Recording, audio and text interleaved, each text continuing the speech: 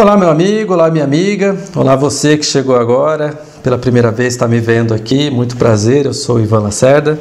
E seja muito bem-vindo nesse canal.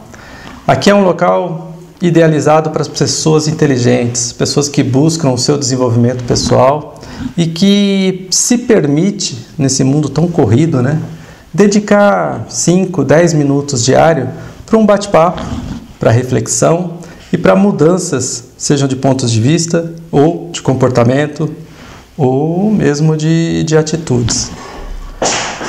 O bate-papo de hoje é o seguinte: a importância do juiz, ou no caso, a importância do árbitro. Do árbitro. A palavra é até difícil de falar, né? ela quase não sai. Por que eu quero dizer isso?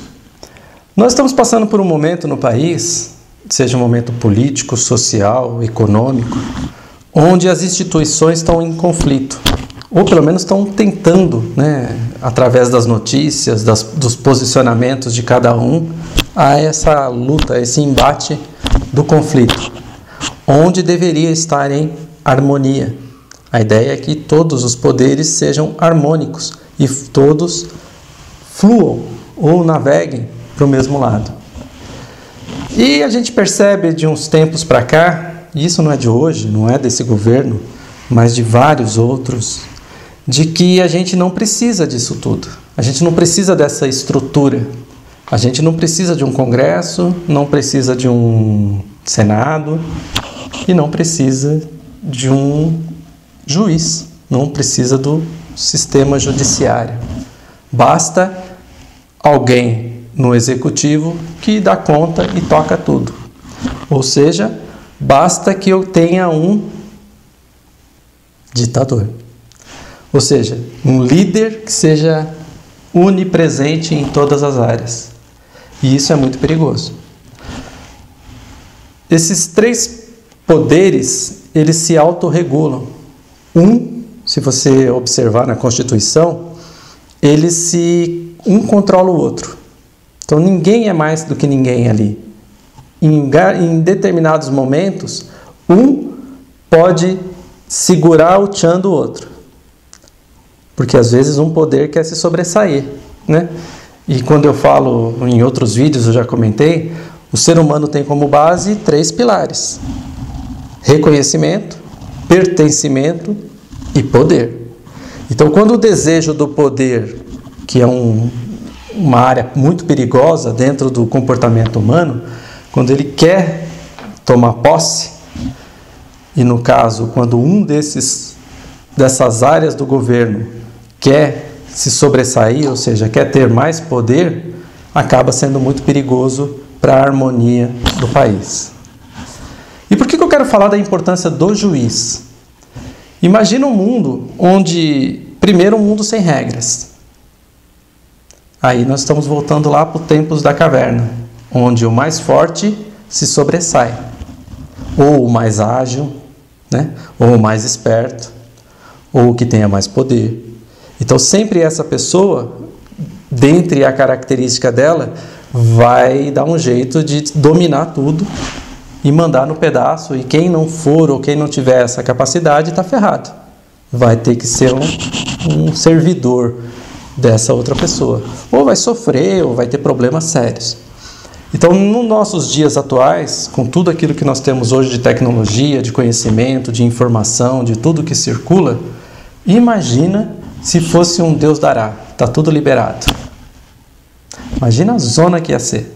Já é uma certa zona.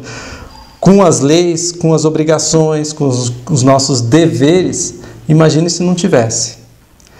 E imagine se não tivesse alguém ou um grupo que pudesse fazer essa validação, fazer esse, essa arbitragem de saber quem está com a razão. Senão voltaria a quem tem mais poder, quem tem mais dinheiro, quem, tem, quem manda mais, quem é mais forte, sempre também estaria se dando bem. Poderia fazer o que quisesse, ia se dar bem. Então, o juiz, ele é de extrema importância. E é muito importante que a gente valorize isso, que a gente respeite e entenda que sem ele, sem essa figura, nós estamos ferrados, mais ainda. Então, Ah, Ivan, mas tem advogado aí que é advogado safado. Tem, tem um monte. E quem deveria cuidar disso é a OAB. Quem deveria cuidar disso é, são as leis que deveriam ser mais fortes com eles. Né? Mas, de qualquer forma, tem muito advogado bom e sério. Tem muito juiz bom e sério. Ah, mas tem juiz comprado? Tem também. Mas a gente tem que entender que sempre vai ter as exceções. Mas, no geral, as instituições têm que funcionar bem. Imagina um jogo de futebol, uma partida de futebol e sem juiz, sem árbitro.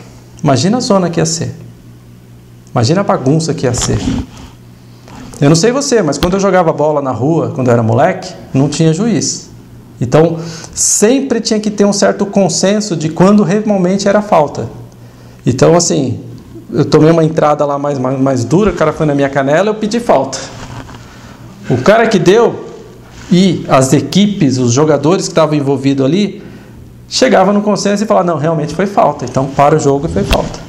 Agora, às vezes, não, às vezes o jogo corria e você tinha tomado a falta. Então você fala: caramba, estão roubando. Num futebol, imagina um campeonato sem os juízes ali. Ia ser uma bagunça. Quer dizer, como é que você vai ter credibilidade? Como é que você vai torcer ou vai achar que aquilo está funcionando da forma correta? Tanto é que é importante que os próprios juízes, com essa mudança de regra, com essa velocidade que o esporte está tendo e tudo isso, eles já não estão dando conta e tem que usar da tecnologia, tem que usar o VAR para poder resolver, porque precisa ter um olhar maior ali para poder tomar decisão. Imagine se não tivesse. Então, é sempre bom a gente respeitar as leis. O, nos meus valores, é, a, o respeito às leis está entre os cinco maiores. Então eu sou uma pessoa que busco respeitar a lei e exijo que as outras pessoas respeitem. Né? Eu sofro por isso, acho errado, vejo um monte de coisa errada, mas eu faço a minha parte. Eu procuro cumprir as leis. E eu vou dar um exemplo de que aconteceu comigo uma vez, eu tinha ter uns 12, 13 anos, e nós, o meu esporte predileto até os 20, na adolescência, eu era muito bom realmente em vôlei. Eu gostava muito de jogar vôlei. No futebol eu era um pereba, já era ruim de bola, mas no vôlei eu era bom. E era levantador, né? pela minha altura, eu levanta, era um levantador. E na escola nós tínhamos times, vários times dos bairros, de outras escolas ali, disputando um torneio de final de semana. Então aquilo era muito importante. Né? Pelo menos para a gente era importante, para aquele momento ali. Então tinham várias disputas, vários jogos, até chegar no, no time campeão. E as coisas foram indo, foram indo, os jogos foram acontecendo, né? Entre os quem apitava às vezes era um, um outro jogador de um outro time que lá ia servir de juiz. Mas quando estava chegando já no, no, limite final, já no, entre a semifinal e final, que estava acontecendo o jogo, colocou uma garota para poder apitar. E nada contra ela, ela jogava muito bem vôlei, mas era uma péssima juiz, ela não tinha autoridade. Então, uma coisa importante para um juiz é ele ter autoridade, ter respeito. Então, se a gente não respeita o juiz, qualquer decisão que ele for tomar, você vai achar que está errado. Então, a gente estava jogando, tá, aí lá, o que, que foi? Aí ela explicava o que tinha acontecido, e aí ninguém concordava. Aí o outro lado do time fazia um erro, ela, que foi agora? Aí também ninguém concordava. Ou seja, ela não tinha autoridade. E é aqui que estava acontecendo. Estava começando a entrar um, um, conflito que já ia partir para briga entre o nosso time, entre o outro time, entre a torcida, né? tinha muita gente assistindo, e todo mundo contra o juiz. E aí ferrou, porque aí não ia ter mais campeonato, ia virar uma bagunça e ia acabar e a gente não ia ser legal. Por sorte, entre os torcedores tinha um vizinho nosso que ele era professor de educação física. E ele estava lá assistindo, porque ele gostava tal. E aí eu falei, oh, a gente, né? Oh, você não quer apitar? Apita aí o jogo pra gente tal, né? E ele, com a maior boa vontade do mundo, foi lá e apitou. Foi seu juiz. E conforme o jogo acontecia, acontecia ele. Ele não tinha, ele era autoridade, ele mandava. Então o que ele determinava, mesmo que ele tivesse errado, né? Não sei, mas da forma como ele agia e o respeito que a gente tinha por ele, ou todos, né, se impôs, o jogo fluiu, a coisa funcionou, o campeonato seguiu, nós não ganhamos, mas todo mundo ficou feliz com o resultado, porque falou, bom, o resultado final foi justo, porque tinha um bom juiz. Então, é sempre bom a gente pensar um pouquinho, refletir sobre aquilo que a gente fala, achando que não, vamos acabar com o Senado, vamos acabar com o Congresso, vamos acabar com o Judiciário. Cuidado, porque a ditadura ou o sistema democrático ele depende desse, dessa estrutura. É como um tripé, onde você tira um, cai tudo. Reflita sobre isso. Se você gostou desse vídeo, dê um like. Se você achou que foi muito longo, que eu falei demais, que não é nada disso, dê um dislike ou deixe um comentário. Mas é isso, eu gostaria que você participasse e agradeço demais por você estar aqui comigo nesse nosso bate-papo diário. Ok?